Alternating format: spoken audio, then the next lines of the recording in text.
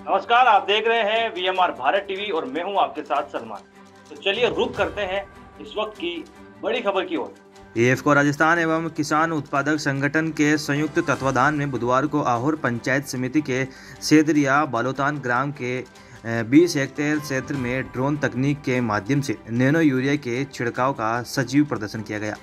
एएफपीओ के मुख्य कार्यकारी अधिकारी जगदीश प्रजापति ने बताया कि कार्यक्रम का शुभारंभ मुख्य अतिथि कांग्रेस नेता पीसीसी सदस्य सवाराम पटेल व झालोर सिरोही डेयरी चेयरमैन जोग सिंह बालोद के द्वारा किया गया। कार्यक्रम में विशिष्ट अतिथि अतिरिक्त निदेशक कृषि विभाग वी आर सोलंकी, संयुक्त निदेशक doctor R B Singh, IFFCO manager Nirbhay Chaudhary, उपखंड अधिकारी शैलेंद्र सिंह, तहसीलदार हितेश त्रिवेदी एएफपीओ चेयरमैन ओटाराम मीणा व सेदरिया सरपंच जगत सिंह सवाई कमांड कमांड क्षेत्र के अध्यक्ष लादू सिंह बालोद चंदन सिंह सुगालिया उप सरपंच दलपत सिंह थे।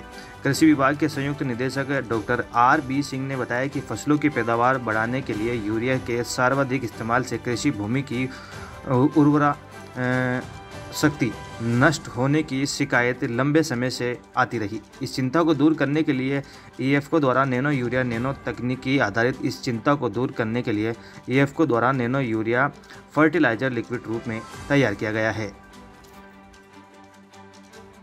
फ़िलहाल इस खबर में सिर्फ़ इतना ही। देश और दुनिया की तमाम बड़ी खबरों से अपडेट रहने के लिए देखते रहिए वी भारत टीवी और मुझे दीजिए इजाज़त। नमस्कार।